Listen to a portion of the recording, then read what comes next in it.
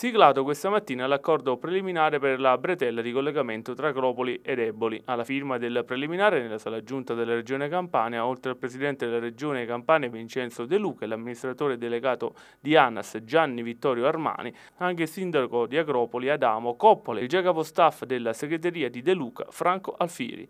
Questa bretella nelle intenzioni darà nuovo respiro alle aree turistiche a sud di Battipaglia e un collegamento stradale veloce tra l'autostrada 2 del Mediterraneo e la variante alla strada statale 18 ad Agropoli previsto nel patto per lo sviluppo della regione Campania.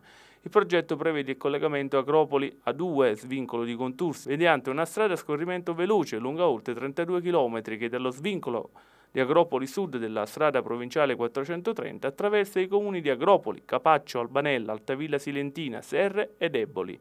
L'ANAS bandirà la gara che darà il via alla progettazione. Il costo della progettazione preliminare è di 1,6 milioni di euro. Sono previsti 7 svincoli, 4 dei quali da realizzare ex novo.